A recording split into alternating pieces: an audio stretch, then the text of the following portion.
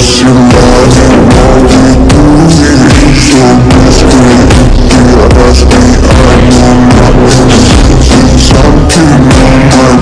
I know she like it